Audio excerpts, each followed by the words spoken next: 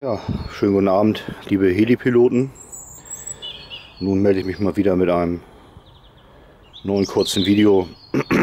Ich war, war ein bisschen bei Hobby King unterwegs, habe mal auf die Webseite geguckt und habe gerade gesehen im UK Warehouse den Assault 450 Bausatz, äh, das ist der DFC für 38 Euro. Mensch, habe ich gedacht, hast du wieder mal Lust zu basteln. Für das Geld kannst du nicht viel falsch machen. Die Komponenten müsstest du eigentlich zu Hause haben. Alles, was man dazu braucht. Aber mal gucken, wie das in der Schachtel aussieht. Für Hobby King extrem selten. Manual. Eine kleine kurze Bauanleitung. Aber das kommt wirklich selten vor, dass sowas bei Hobby King mit bei ist.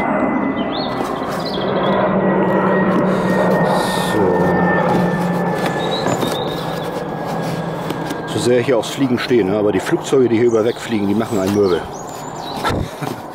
Gut. So, jetzt habe ich hier.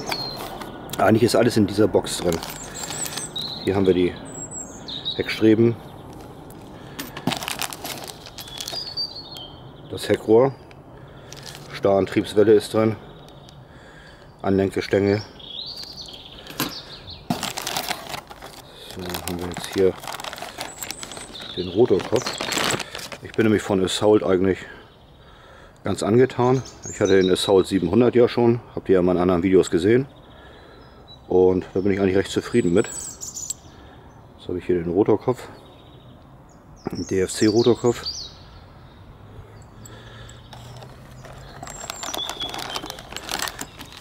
Dann habe ich hier das Heck,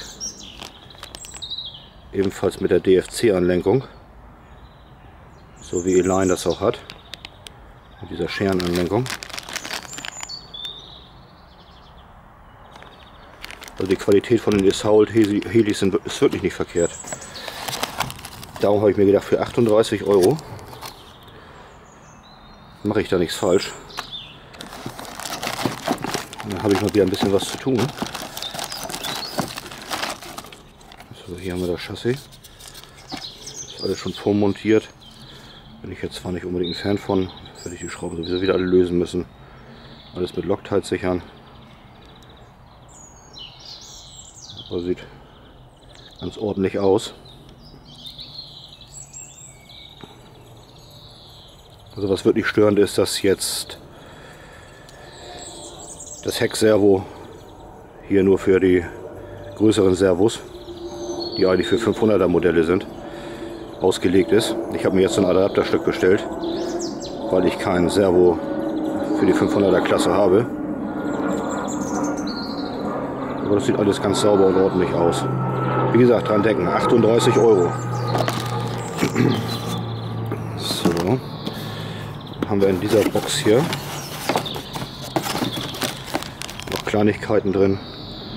Ersatzschrauben, Ersatzkugelpfannen, Blatthalter, Kabelbinder, wollte ich schon Kabelbinder und, und hier Klettband.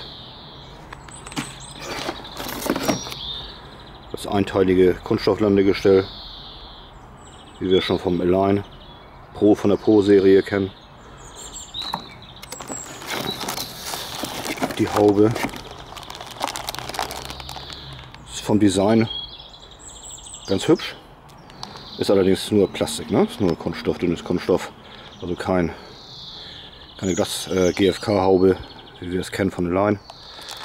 Aber trotz alledem. Und das Hauptzahnrad, was hier äh, gerade verzahnt ist, was ich aber als allererstes mal schräg verzahnen werde. Dafür habe ich wie gesagt hier das schräg verzahnte Hauptzahnrad von der Line. Dann habe ich natürlich noch ein Ritzel, schräg verzahnt. Dann nehme ich als Heckservo DS425M als Taummelscheibenservos habe ich, das muss ich mal selber gucken, DS430M glaube, das sind die aktuellen jetzt gerade. Also noch 430er. Mhm. Mal gucken. Ja, müsste 430 sein, genau.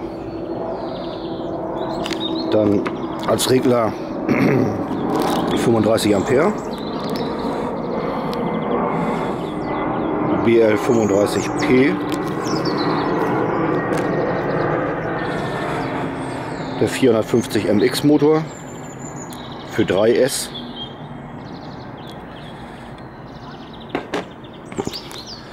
Servohörner.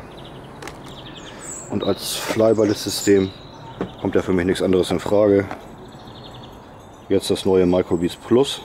So neu ist es auch nicht mehr. Hatte, habe ich aber noch nie an einem Heli dran gehabt. Das ist das erste Mal jetzt das Plus. Sonst immer die anderen, die alten, das die alten Versionen gehabt, die V3. Ja, und weil das eben die ganze Sache so günstig war für 38 Euro, habe ich mir natürlich auch gleich nochmal einen zweiten Satz mitbestellt gehabt. Als Crash-Kit. Weil ich kenne mich ja, ne? Wenn ihr meine Videos kennt, wisst ihr, ich muss ja obligatorisch alle Vierteljahr irgendeinen in die Erde bomben. Dann danke ich euch erstmal fürs Zuschauen. Ich melde mich dann mit dem Baubericht wieder, wenn ich die Mechanik fertig habe. Und hoffe, es hat euch gefallen und wünsche euch noch eine schöne Restwoche. Bis dann.